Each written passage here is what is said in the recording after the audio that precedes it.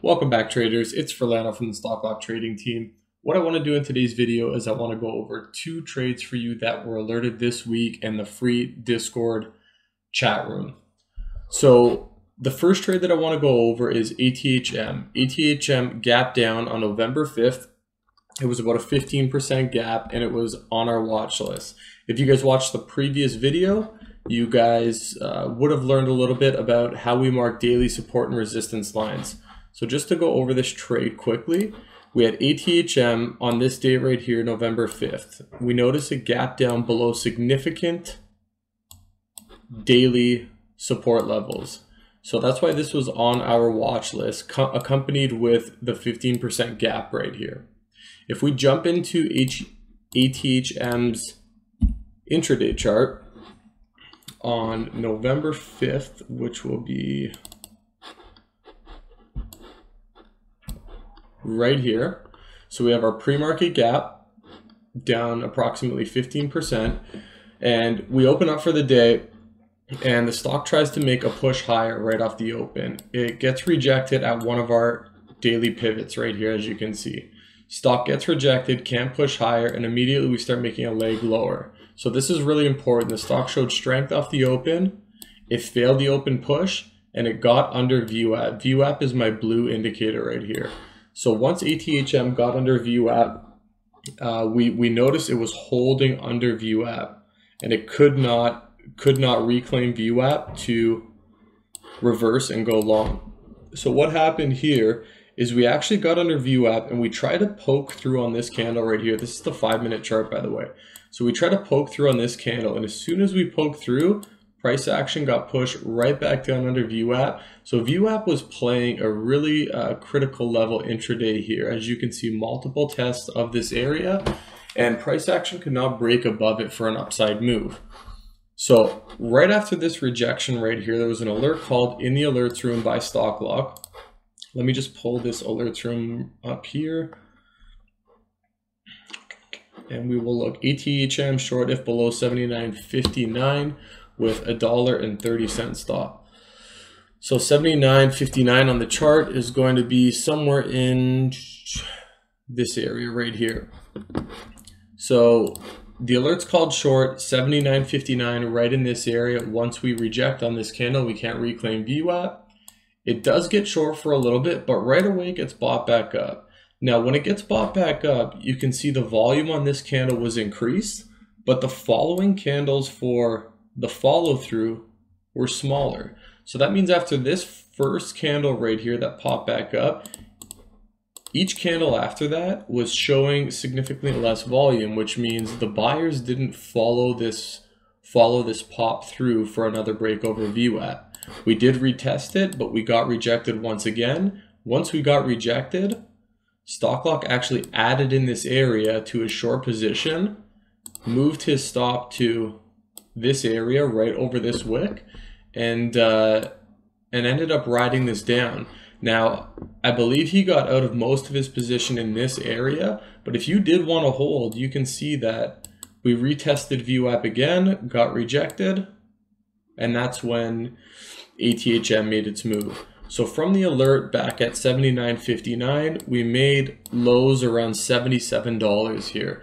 So that's a pretty good move. You get a, a $2.50 move off a $1.30 stop, which is 2 to 1.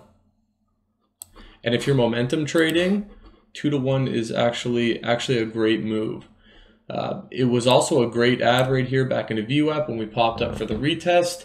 If you were paying attention to this trade and you watched it long enough, once it popped back into VWAP again and got rejected, this could be an actual, uh, this, this could actually be another add right here.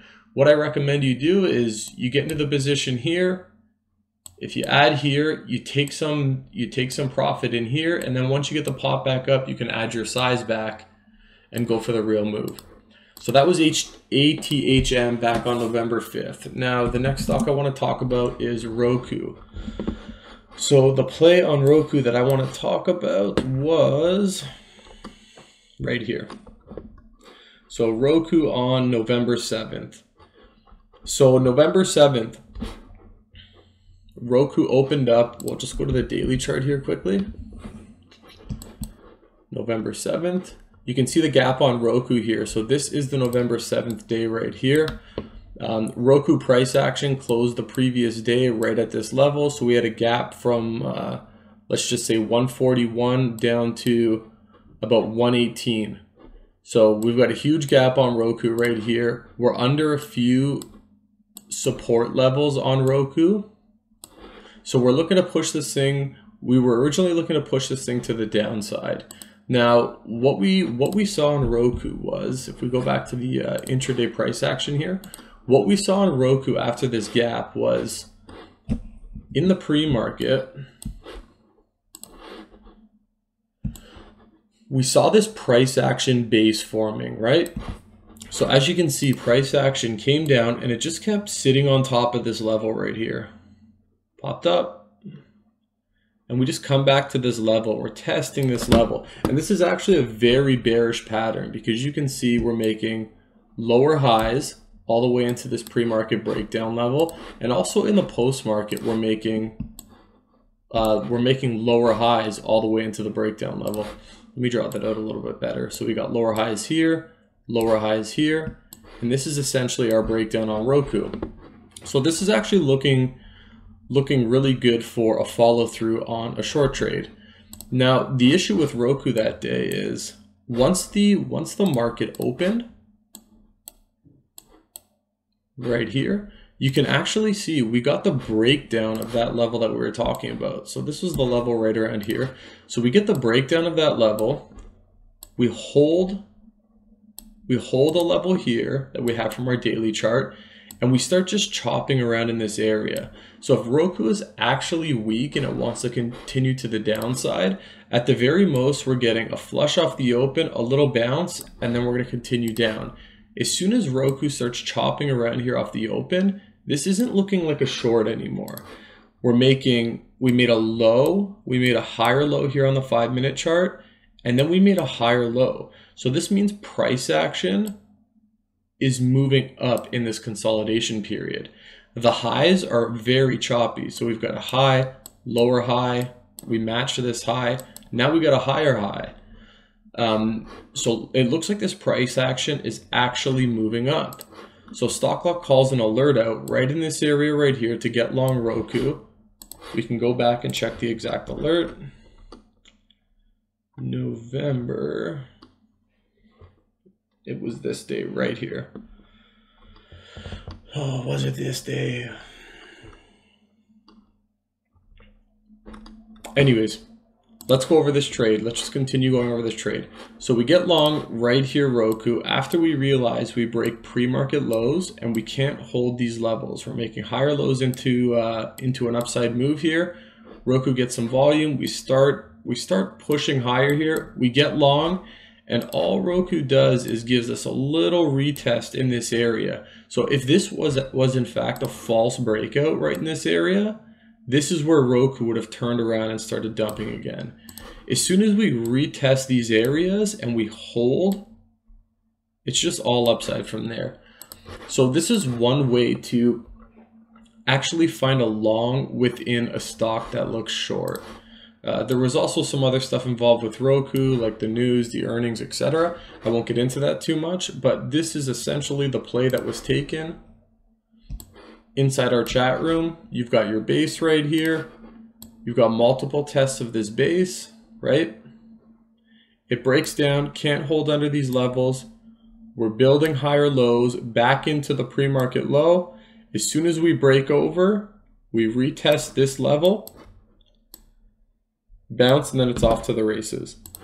So depending on how you want to play something like this, entry on Roku ends up being right in this area. We'll just call it 119 to uh, to keep it easy. 119 and we get highs up at 128.50. So you got to put a $9.50 move right here. Not saying you're going to catch the whole move from top to bottom, but even if you catch half of the move, it uh, it's definitely a great play. So these are some of the trades that we take within our free Discord chat room and within our masterclass room. If you guys are interested, please, please, please join the free Discord chat room. Link will be in the description. shoot me a message, shoot Stocklock a message, or anyone in the Discord chat room for that matter. Everybody's super friendly and our community is growing out of control. I look forward to seeing you guys there and happy trading.